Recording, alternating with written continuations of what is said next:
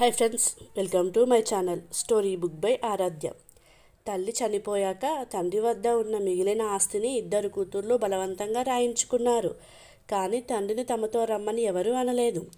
తనంతట తానుగా తండ్రి వాళ్ళ ఇళ్ళకు వెళితే కూతుర్లు అతని పట్ల ప్రవర్తించిన తీరుకు మానసికంగా ఎంతో కుంగిపోయాడు. ఆ స్వార్థపు కూతుర్ల నిర్లక్ష్యం ఆ తండ్రి ప్రాణాలను బలి తీసుకుంది. ఇంతకు అసలేం జరిగిందో ఈరోజు మనం తెలుసుకుందాం. అది ఒక పల్లెటూరు. వ్యవసాయం అక్కడి వారందరి వృత్తి. కోటేశ్వరరావు గారు పద్ధతైన మనిషి. తనకున్న ఐదు ఎకరాలలో వ్యవసాయం సాగు చేసుకుంటూ ఇద్దరు ఆడపిల్లలు కావ్య దివ్యను పక్కనే ఉన్న పట్టణానికి పంపించి చదివించుకుంటున్నారు. భార్య సావిత్రి మొదట్లో భర్తకు సహాయంగా వ్యవసాయం చేయడానికి వెళ్ళేది. కానీ అస్తమానం ఆరోగ్యంగా ఉండటం వలన ఈ మధ్య ఇంటి పట్టునే ఉంటుంది. కావ్య చదువు పూర్తి చేసుకొని బీఈడీ పరీక్షల్లో ఉత్తీర్ణత సాధించి ఉద్యోగం తెచ్చుకుంది. దివ్య డిగ్రీ చదువుతోంది. సంతోషంగా రోజులు గడుస్తున్నాయి. ఒకరోజు సావిత్రి భర్తతో ఏమండి పెద్దమ్మాయి పెళ్ళిడికొచ్చింది సంబంధాలు చూడాలి అన్నది.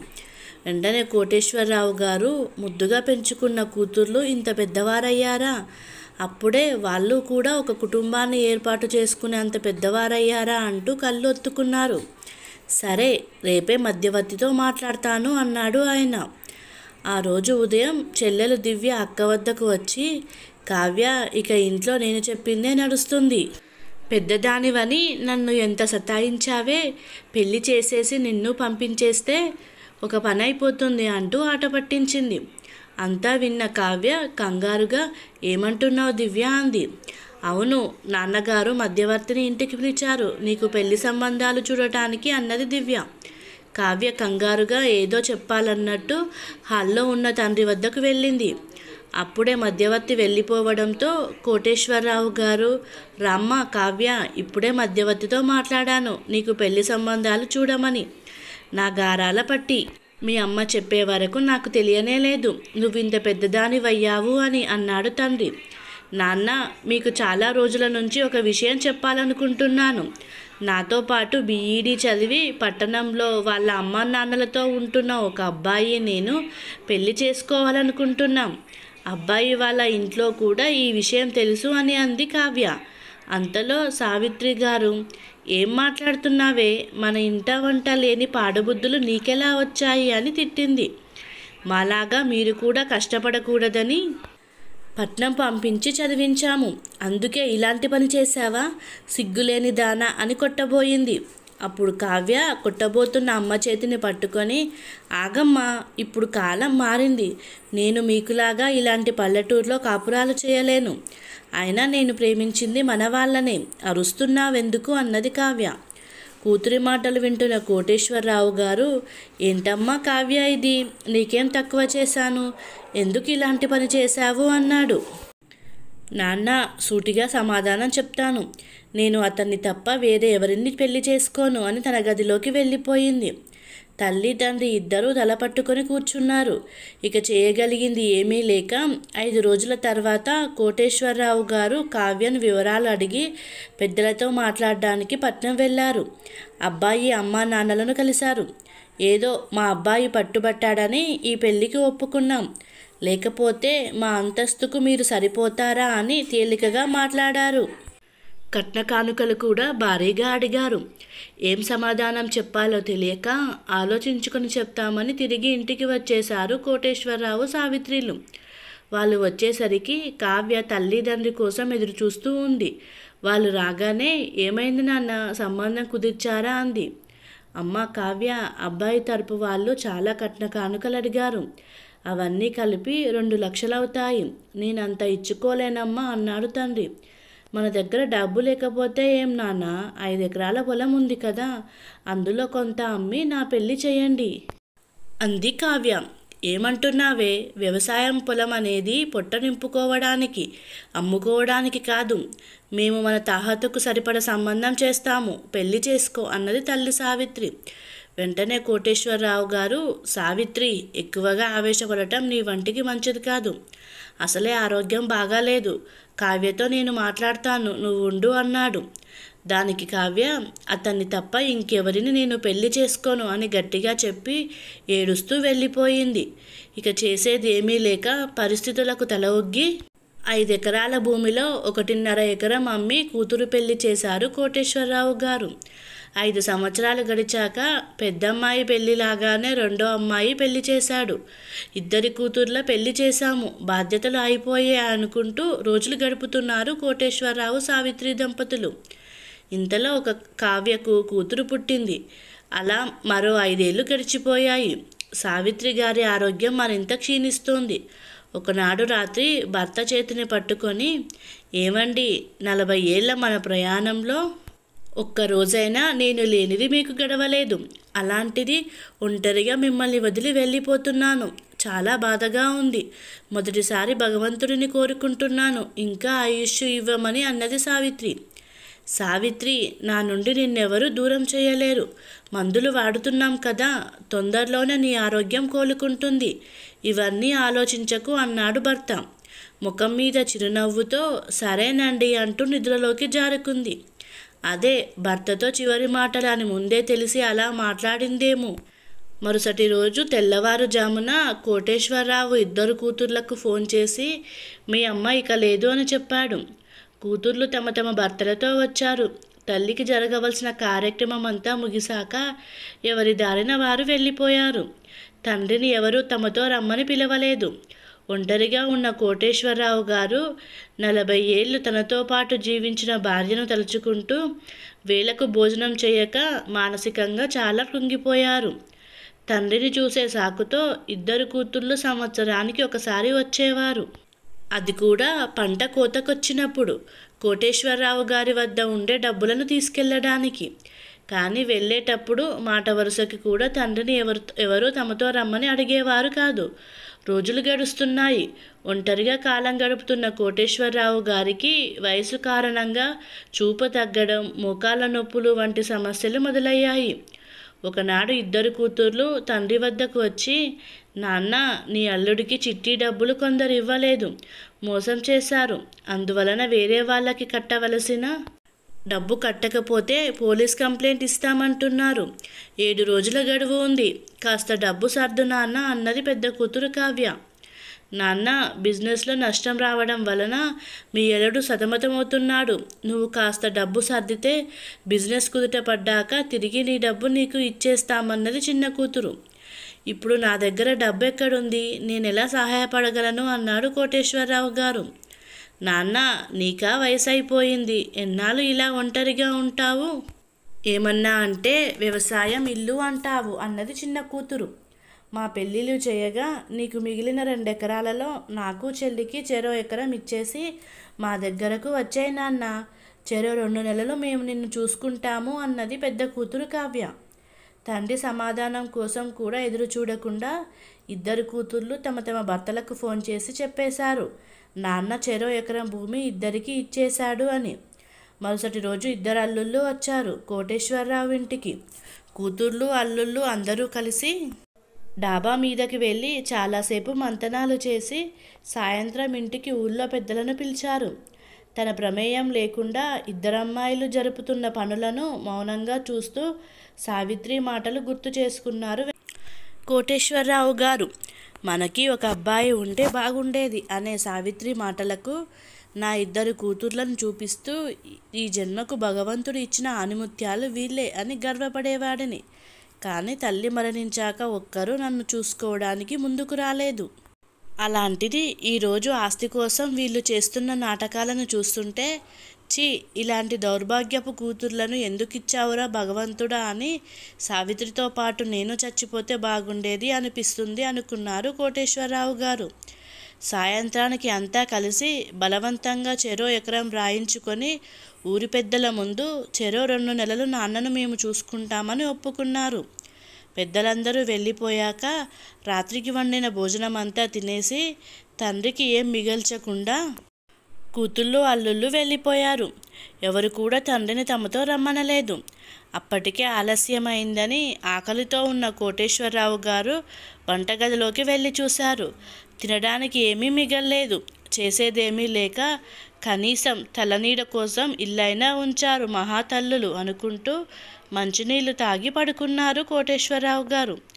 మరుసటి రోజు రోజులాగే వ్యవసాయ పనులకు వెళ్ళాల్సిన సమయం కావటంతో మెలకువ వచ్చిన కోటేశ్వరరావు గారికి ఆ రోజు ఉదయం చాలా కొత్తగా ఉంది.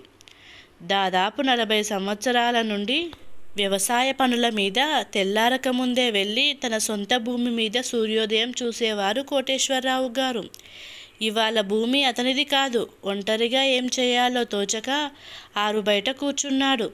ఎదురింట్లో ఉన్న స్నేహితుడు బయటకు వచ్చి కోటేశ్వరరావు ఏంటి నిన్ను అమ్మాయిలు ఇద్దరు రమ్మన్నారుగా వెళ్ళలేదా? అన్నాడు. లేదు భుజంగం నా కూతుర్లు ఆస్తి కోసం ఆడిన నాటకం అది. ఇద్దరూ తిరిగి వెళ్ళేటప్పుడు తమతో పాటు రమ్మని పిలవనే లేదు అంటూ బాధపడ్డాడు కోటేశ్వరరావు గారు. ఒక వయసు వచ్చాక ఇలాంటివి తప్పవు. మోకాళ్ళ నొప్పులతో బాధపడుతున్నావు. అలాగే కాస్త సమయానికి తినడానికి దొరుకుతుంది కదా. బయలుదేరి వెళ్ళు అన్నాడు స్నేహితుడు భుజంగం. సరే అని దారిలో తినడానికి కాస్త పళ్ళు కొనుక్కొని కావ్య కూతురి కోసం బొమ్మలు కొనుక్కొని ముందు మాట ఇచ్చింది పెద్ద కూతురు కదా. అందుకే పెద్ద కూతురు కావ్య వద్దకు వెళ్ళాడు కోటేశ్వరరావు గారు. ఇంటికి వెళుతూనే వరండాలో ఆడుకుంటున్న మనవరాలు బిందు తాతయ్య అంటూ ఎదురు వెళ్ళింది. అమ్మ తాతయ్య వచ్చారు అని తల్లికి వినపి వినిపించేలా గట్టిగా పిలిచింది. కూతురి పిలుపు వినబడినా గది నుండి బయటకు రాలేదు కావ్య. కాసేపటికి పని మనిషి వచ్చి అమ్మగారు పని మీద ఉన్నారు. మీరు ఆ గదిలోకి వెళ్ళి విశ్రాంతి తీసుకోండి అన్నది. అది ఒక స్టోర్ రూమ్. ఇంటికి పనికిరాని వస్తువులు ఆ గదిలోనే ఉంటాయి. గదిలోకి వెళ్ళిన కోటేశ్వరరావుకు అక్కడ ఉన్న దుమ్ము వలన విపరీతమైన దగ్గు వచ్చేసింది. తాతయ్య ఏమైంది అంటూ మనవరాలు నీళ్ళు తీసుకువచ్చిందే కానీ కావ్య గది నుండి బయటకు రాలేదు. కాసేపటికి స్థిమితపడ్డాక ఆ రూమ్లో కూర్చోలేక బయట సోఫా మీద దగ్గుతూ కూర్చున్నాడు కోటేశ్వరరావు గారు. అప్పుడు వచ్చింది గది నుండి బయటకు కావ్య. ఏంటి నాన్న ఇంత తొందరగా వచ్చేసావు సరే సరే ముందు లేవండి. మీ అల్లుడు వచ్చే సమయమైంది. ఇలా దగ్గుతూ ఉంటే తనకి నచ్చదు. మీ రూమ్లోకి వెళ్ళండి అంటూ నాన్నగారి చెయ్యి పట్టుకొని స్టోర్ రూమ్లోకి తీసుకెళ్ళి వెళ్ళండి అంటూ బయట నుండి తలుపు మూసింది. కాసేపటికి ఇంటికి వచ్చిన అల్లుడు స్టోర్ రూమ్ నుండి వస్తున్న దగ్గు శబ్దం విని దిగాడా మీ నాన్న? ఏంటాయనకు అంత తొందర? అన్నాడు. నేను అనుకోలేదు. ఇంత తొందరగా వస్తాడని. ఆ స్టోర్ రూమ్లో పడి ఉంటారులేండి. ఉండనివ్వండి అన్నది కావ్య విసుగ్గా. ఈ మాటలన్నీ స్టోర్ రూమ్ దాకా వినిపిస్తున్నాయి. కూతురు అల్లుడి మాటలు విన్న కోటేశ్వరరావు గారు ఇలా తనని ఒక పనికిరాని వస్తువుగా చూస్తున్న కావ్య ఇంటి నుండి వెళ్ళిపోవాలని నిర్ణయించుకున్నాడు. అప్పటికి సమయం మధ్యాహ్నం మూడు అయ్యింది పని మనిషి ఒక ప్లేట్లో కొంత అన్నం తెచ్చి గది బయట పెట్టి అమ్మగారు ఇవ్వమన్నారు. తీసుకోండి. అని గది తలుపు తెరిచింది. ఆకలితో ఉన్న కోటేశ్వరరావు గారు కాస్త చేతికివ్వమ్మా నాకు మోకాల నొప్పులు ఎక్కువగా ఉన్నాయి అని అన్నారు. లేదండి గదిలో దుమ్ము వల్ల నాకు దగ్గువ ఎక్కువ అవుతుంది. నేను లోనికి రాను అని ప్లేట్ బయట పెట్టి వెళ్ళిపోయింది. ఏమీ చేయలేక మెల్లగా వచ్చి అతి కష్టం మీద ప్లేటు తీసుకొని భోజనం తిన్నాడు. మరొకసారి ఇంకాస్త అన్నం అడుగుదామంటే ఎవరూ కనబడలేదు. ఇక ఇచ్చిన నీళ్ళు తాగి ప్లేటులో చేయి కడిగేశాడు. పని మనిషి లోనికి కూడా రాలేని రూములో తనను ఉంచిన కూతురి మీద అసహ్యం వేసింది అతనికి. మరుసటి ఉదయం ఎవరికీ చెప్పకుండా బయటకు వెళ్ళిపోయాడు. చిన్న కూతురు ఇంటికి వెళ్ళాలని బయలుదేరాడు. ఇంటికి వెళ్తూనే అమ్మ దివ్య అని పిలిచాడు. బయటకు వచ్చిన దివ్య ఏంటి నాన్న అక్క దగ్గరికి వెళ్ళాలి కదా. మొదటి రెండు నెలలు ఇక్కడికి వచ్చావేంటి? అని అడిగింది. దివ్య అడిగేసరికి ఏం సమాధానం ఇవ్వాలో తెలియక కోటేశ్వరరావు గారు మౌనంగా నిలబడ్డాడు. సరే రండి లోపలికి అంటూ లోపలికి వెళ్ళిపోయింది దివ్య. అప్పటికి సమయం ఉదయం తొమ్మిది గంటలయ్యింది. దివ్య ఆకలిగా ఉంది. కాస్త టిఫిన్ పెడతావా? అని అడిగాడు తండ్రి. నువ్వు వస్తావని తెలియదు కదా నాన్న. అందుకే ఏమీ వండలేదు అంటూ రెండు బ్రెడ్ ముక్కలు ఇచ్చింది దివ్య. నిన్నటి రాత్రి నుండి ఏమీ తినక ఆకలి మీదున్న కోటేశ్వరరావు గారు బ్రెడ్ ముక్కలు తిని సరిపెట్టుకున్నాడు. అంతలోనే ఆఫీస్కి రెడీ అవుతున్న అల్లుడు గది నుండి బయటకు వచ్చాడు కానీ అక్కడే కూర్చున్న కోటేశ్వరరావుని కనీసం పలకరించలేదు. అల్లుడు కదా అని కోటేశ్వరరావు గారే బాగున్నావా బాబు? అని పలకరించారు. కానీ చిన్నల్లుడు మీరేంటి ఇక్కడికి వచ్చారు? అన్నారు. ఆ సమాధానంతో కోటేశ్వరరావు ఇక్కడ పరిస్థితి ఇంకా దారుణంగా ఉంది అనుకున్నాడు మనసులో. భర్త కోసం పూరి బంగాళదుంప కర్రీ ప్లేట్లో తెచ్చి ఇచ్చింది చిన్న కూతురు దివ్య. అది చూసిన కోటేశ్వరరావు గారి మనసు విరిగిపోయింది. ఆకలిగా ఉన్న నాకేమో రెండు బ్రెడ్ ముక్కలు ఇచ్చింది భర్త కోసం పూరి వండింది అనుకొని మనసులో బాధపడ్డాడు. దివ్యతో కావ్య ఇంటికి వెళ్ళాక జరిగిన విషయాన్ని చెప్పబోతూ నేను కావ్య ఇంటికి అని చెప్పబోయాడు. వెంటనే దివ్య వెళ్తావా నాన్న అక్క దగ్గరికి? ఇప్పుడే బస్సు ఉంది బయలుదేరండి అన్నది. కనీసం ఆకలితో ఉన్నావు కదా భోజనం చేసి వెళ్ళు అని కూడా అనలేదు. మరి రెండు రోజులుండు అని కూడా అనని కూతురు మీద అసహ్యం వేసింది కోటేశ్వరరావు గారికి. ఇక అక్కడ ఉండలేక బయలుదేరిపోయాడు. ఇక తన దారి తనదే అనుకుంటూ వెళ్తున్న కోటేశ్వరరావు గారు వెళుతూ వెళుతూ మూడు రోజుల నుంచి సరిగ్గా భోజనం చేయని కారణంగా కాస్త దూరం నడిచాక కళ్ళు తిరిగి పడిపోయాడు. అతను తిరిగి కళ్ళు తెరిచి చూసేసరికి ఎక్కడున్నాడో అర్థం కాలేదు అతనికి. పక్కనే ఉన్న నర్సును చూసి చూడమ్మా నేను ఎక్కడున్నాను అని అడిగాడు. మీరు హాస్పిటల్లో ఉన్నారండి అంది నర్సు. అవునా ఏమైంది నాకు? అని అడిగారు. మీరు కళ్ళు తిరిగి పడిపోతే స్వచ్ఛంద సంస్థ వాళ్ళు మిమ్మల్ని ఇక్కడ చేర్చారు. ఈ ఆసుపత్రి కూడా వారికి సంబంధించినదే. ఇక్కడ మీకు అన్ని సదుపాయాలు వాళ్ళే కల్పిస్తున్నారు అన్నది నర్సు. అంతలో గది లోపలికి వచ్చిన డాక్టర్ కోటేశ్వరరావు గారిని ఎలా ఉన్నారు మీరు? మీ వారి వివరాలు చెప్పండి. వాళ్ళకు మీ గురించి తెలియపరుస్తాము అన్నాడు. కూతుర్ల వద్దకు వెళ్ళడం ఇష్టం లేని కోటేశ్వరరావు గారు మౌనంగా ఉండిపోయాడు. అంతలో అక్కడకు భోజనం తీసుకొచ్చిన సంస్థకు సంబంధించిన వ్యక్తులు కోటేశ్వరరావు వద్దకు వచ్చి మీకెవరూ లేరా? మీకు అభ్యంతరం లేకపోతే మాతో పాటు వచ్చి మా సంస్థలో చేరండి. మీలాగా చాలామంది అక్కడ ఉంటారు మీకు ఎటువంటి సమస్య ఉండదు అన్నారు. ఒంటరిగా నా సొంత ఇంటిలో ఉండలేను. ఆత్మాభిమానం చంపుకొని ఒక్క పూట అన్నం కోసం కూతుర్ల వద్దకు వెళ్ళి చేయి చాచలేను. కాబట్టి సంస్థలో చేరడమే సబబు అనిపించి వారితో వెళ్ళి సంస్థలో చేరారు కోటేశ్వరరావు గారు. దాదాపుగా తన వయసు ఉన్న వాళ్ళు అక్కడ చుట్టూ ఉండటంతో తొందరగానే అందరితో కలిసిపోయాడు. అక్కడి వారందరికీ మన అనేవాళ్ళు ఎవరూ తోడులేరు. కానీ తోడున్న వారినే మన వారుగా అనుకొని ఆప్యాయంగా కలిసి ఉండేవారు అందరూ. రోజులు గడుస్తూ అప్పుడే రెండు సంవత్సరాలయ్యింది. కోటేశ్వరరావు గారు అక్కడికి వచ్చి. వయసు కారణంగా కాస్త అనారోగ్యంగా ఉండేవారు. తగిన వైద్యం సంస్థ వాళ్ళు ఇప్పిస్తున్నారు. కానీ అది అనారోగ్యం కాదు. ఇద్దరు కూతుళ్ళ వలన కలిగిన మనోవేదన అని రోజు రాత్రులు భార్యతో చెప్పుకునేవారు ఆయన. మరుసటి రోజు కొందరు స్కూల్ విద్యార్థులు సంస్థకి వచ్చారు సంస్థలో ఉండే పిల్లలకు బొమ్మలు పెద్దవారికి బట్టలు తినే పదార్థాలు ఇలా వివిధ ప్రదేశాల నుండి కలెక్ట్ చేసిన వస్తువులు ఇవ్వడానికి తీసుకొచ్చారు. అందరూ గ్రూప్స్గా విడిపోయి పంచడం మొదలుపెట్టారు. కోటేశ్వరరావు గారు ముఖం మీద గడ్డంతో చెదిరిన జుట్టుతో ఉండటంతో ఒక అమ్మాయి తదేకంగా అతన్ని చూస్తూ ఉంది. మెల్లగా తాతయ్య అని పిలిచింది. ముందుగానే మనవరాలిని గుర్తుపట్టిన కోటేశ్వరరావు గారికి బిందు నోటి నుండి తనను పిలవడం వినగానే కళ్ళలో నీళ్ళు తిరిగాయి. ఏంటి తాతయ్య నువ్విక్కడున్నావు? రెండు సంవత్సరాలైంది నిన్ను చూడక. నీ గురించి అమ్మ వాళ్ళు ఎంత వెతికారో తెలుసా? పోలీస్ కంప్లైంట్ కూడా ఇచ్చారు. పద నాతో పాటు ఇంటికి వెళ్దాము అన్నది బిందు. నేను రానమ్మా ఇక్కడే సంతోషంగా ఉన్నాను అన్నారు కోటేశ్వరరావు గారు. అమ్మ నిన్ను స్టోర్ రూమ్లో పెట్టిందని కోపం కదా నీకు? అప్పుడు నేను చిన్నదాన్ని అందుకే ఏమీ మాట్లాడలేకపోయాను.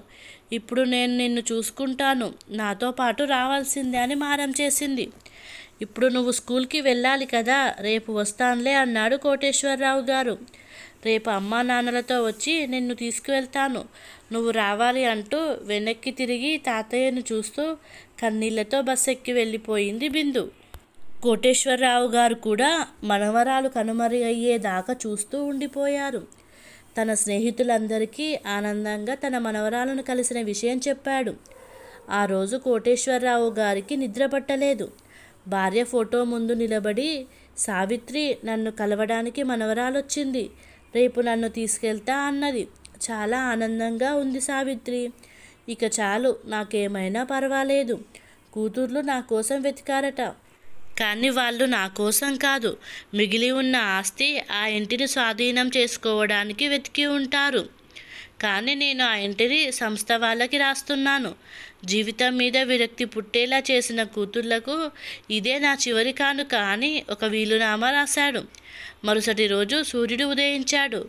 కానీ కూతుర్ల వలన కలిగిన మనోవేదనతో ముఖం మీద చిరునవ్వుతో ఒక తండ్రి అస్తమించాడు. కథ సమాప్తం. మీకు కనుక ఈ కథ నచ్చినట్లయితే ఈ ఛానల్ని సబ్స్క్రైబ్ చేసుకోగలరు. Please subscribe.